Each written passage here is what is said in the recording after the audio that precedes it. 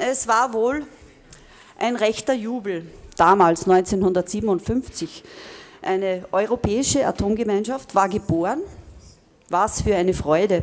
Das Wunderkind wurde Euratom getauft, zur Geburtsurkunde quasi einen Vertrag, dessen Wortlaut sich vor lauter Wohlwollen und Für- und Zukunftsvertrauen in die Atomkraft regelrecht überschlagen hat.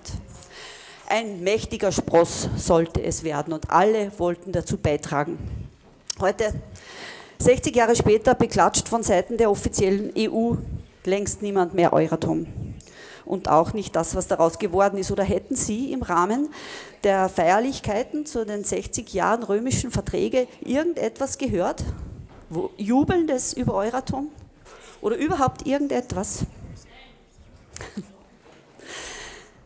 Man könnte fast meinen, man schäme sich in dem ganzen Geburtstagstrubel für Euratom. Ein bisschen so wie für einen peinlichen Verwandten. Die einzigen, die vielleicht im stillen Kämmerlein die Korken knallen haben lassen, das sind wohl die Atomlobbyisten von Foratom und Co., die sich immer noch ins Fäustchen lachen. Drüber? Okay.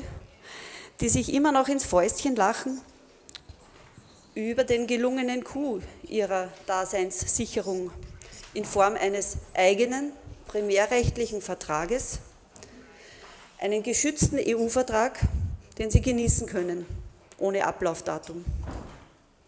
60 Jahre Euratom, Atomindustrie gefördert, privilegiert, geschützt. Wir finden, 60 Jahre sind genug.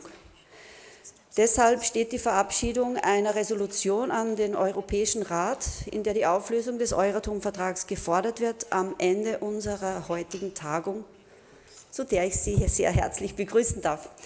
Willkommen, sehr geehrte Damen und Herren, liebe Freundinnen und Freunde, zur vierten Nuclear Energy Konferenz, die zweite in Linz und diesmal die erste in diesem wunderbaren Schloss zum zentralen Thema Euratom. Vielen Dank, dass Sie sich Zeit nehmen und auch zum Teil weite Reisen nicht gescheut haben. Ganz besonders gilt der Dank natürlich unseren Vortragenden, vier Damen und drei Herren.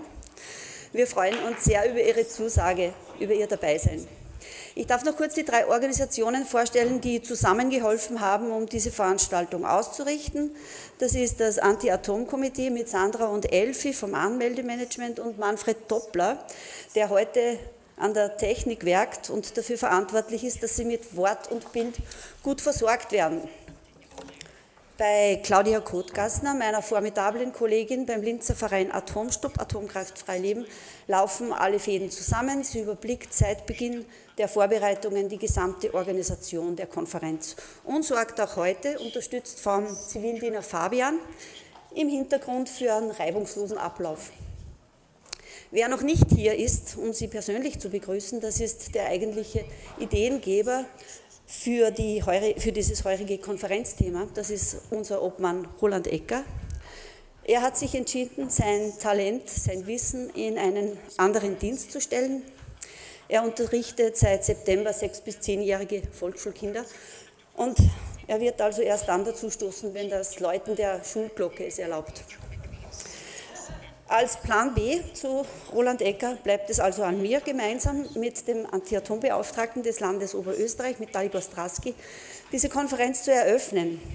Mein Name ist Gabi Schweiger. Ich bin die Obfrau der Mütter gegen Atomgefahr, also des dritten Vereines, und ich habe die Ehre, Sie, geschätztes Publikum, moderierend durch den Tag zu begleiten.